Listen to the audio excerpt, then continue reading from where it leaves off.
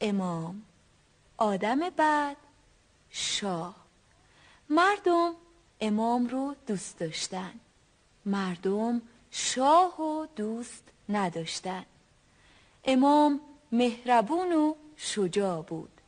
شاه بدجنس و ترسو بود. شاه همین نزدیکی ها بود امام اون دور دورا بود. شاه تفنگ داشت مردم هیچی نداشتن.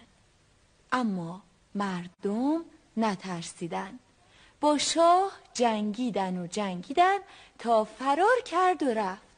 رفت اون دور دور دورا. اون وقت امام اومدن این نزدیکی